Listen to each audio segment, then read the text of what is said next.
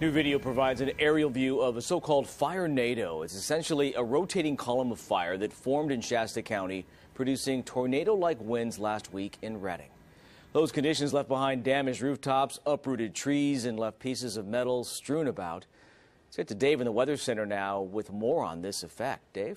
All right, after studying the damage, they determined they had winds up there at about 143 miles per hour. We're talking in the neighborhood of an EF3 tornado. So we thought we'd give you sort of a graphical look at how this all came together. So check this out. You're going to see this column of heat coming up. And as it goes up, it rises and starts to spin counterclockwise, drawing in the wind coming into this column and thus creating a spiral of flames going up and pulling in all of the smoke. That's where you get those 40, 50, 60 mile per hour gusts going in there and winds in the circulation of 143 miles per hour. So look at this and then take a look at a time lapse of this last Thursday. See, it looks exactly like the graphic. That's exactly what we saw up there, and that's why it was picked up on radar as rotation.